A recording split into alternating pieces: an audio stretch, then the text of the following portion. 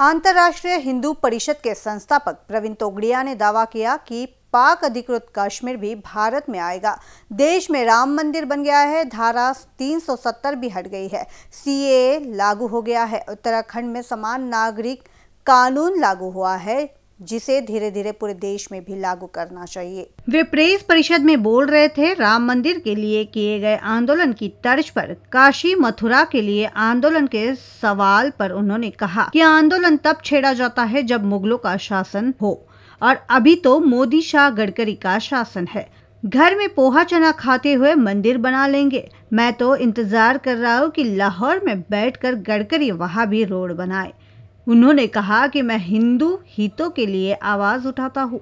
जो सरकार अच्छा काम करेगी तो प्रशंसा करेंगे, नहीं तो आवाज़ उठाएँगे। तोगड़िया ने कहा कि हिंदुत्व के प्रचार व हिंदुओं के सहायता के लक्ष्य के साथ अंतर्राष्ट्रीय हिंदू परिषद ने गाँव गाँव में हनुमान चालीसा केंद्र खोलने की योजना बनाई है। देश में अब तक तेरह हज़ार केंद्र शुरू हो गए हैं, जिन्हें एक वर्ष में एक लाख तक करने का टारगेट रखा गया। उन्होंने कहा कि जिस तरह से शासकीय डीडीओ अर्थात डिस्ट्रिक्ट डेवलपमेंट ऑफिसर होता है, उसी तर्ज पर एसडीओ अर्थात हनुमान चालीसा डेवलपमेंट ऑफिसर नियुक्त रहेंगे।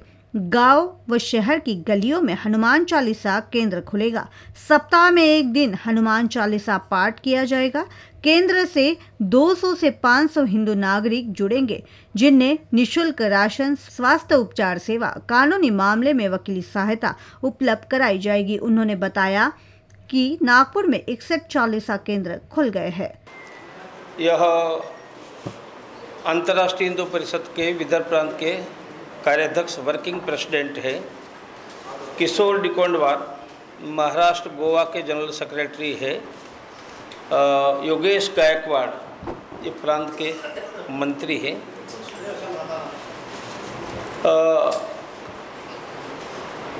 यह देश में धारा 370 भी हट गई है।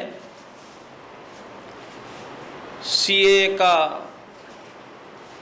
अमल भी शुरू हो गया है। अयोध्या में राम मंदिर बन गया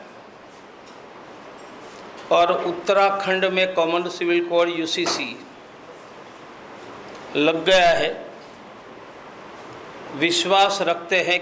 कैमरा पर्सन राजकुमार मोहड़ के साथ अभिषेक पानसी बीसीएन न्यूज़ नागपुर।